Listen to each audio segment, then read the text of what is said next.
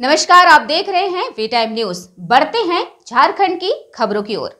सतगावा प्रखंड के समलडी पंचायत के माधोपुर जाने वाले देवघर से नवादा मुख्य मार्ग पर गोहलिया के समीप गुरुवार को दूसरी बार छात्राओं को ले जा रहे ई रिक्शा पलट गई। ई रिक्शा को पलटते देख ग्रामीणों के सहयोग से ई रिक्शा को उठाया गया। इसके पहले भी जुलाई माह में छात्रों को ले जा रहे ई रिक्शा पलट गई थी। बताया जाता है कि गोहलिया के समीप नाले निर्माण कराया गया। नाली का निर्माण आगे नहीं बढ़ा, वहीं तक नाली बनाकर छोड़ दिया गया, जिससे गोलिया के समीप देवघर नवादा मुख्य मार्ग पर पानी की निकासी होती है।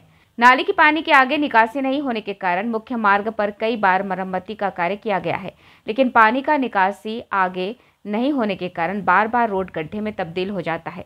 वही इसके पहले 14 जुलाई को बच्चों को ले जा रही ई रिक्शा उसी स्थान पर पलट गई थी, जिससे हल्की फुल्की छात्रों को चोटें आई है। वीटाइम न्यूज़ के लिए सदगावा से कौशल पांडे की रिपोर्ट।